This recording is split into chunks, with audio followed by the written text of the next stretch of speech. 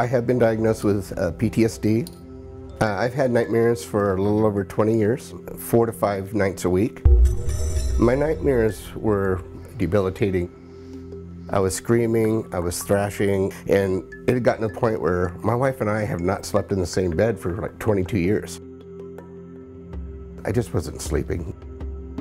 My relationships with people was pretty volatile because one day I'm okay, the next day I'm not.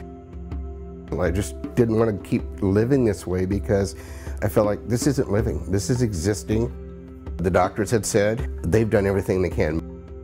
I was at the max on the meds. I was doing counseling once a week, sometimes twice a week. I've tried the live-in PTSD clinics. I felt like, you know, my wife and kids would be better off without me.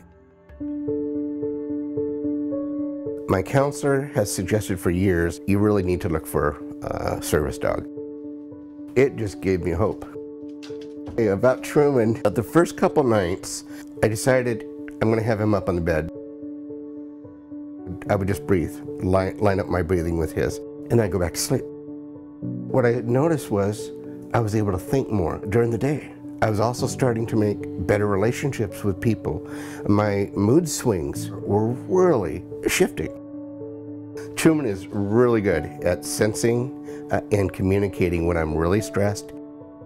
But when he nudges me, it makes me aware something is going on, and what is going on is the thing that he's trained to do, which is, John, your level of anxiety, your chemicals are changing. You need to readjust something right now. I think Truman understands that inside I'm pretty broken. And I don't have to put on a facade with him. He, he knows who I am. And even right now, he knows that I'm getting. Uh, so he's like, gotta take care of you. I've had Truman for about 13 and a half months right now. And he has revolutionized my ability to live. I, I'm not existing anymore.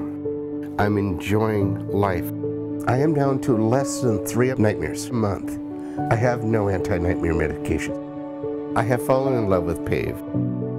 Truman has changed my life. If they didn't provide that, honestly, I'm not sure I'd be here.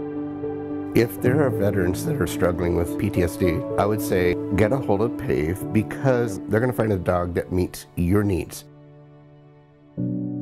He's revolutionized my life. Seriously.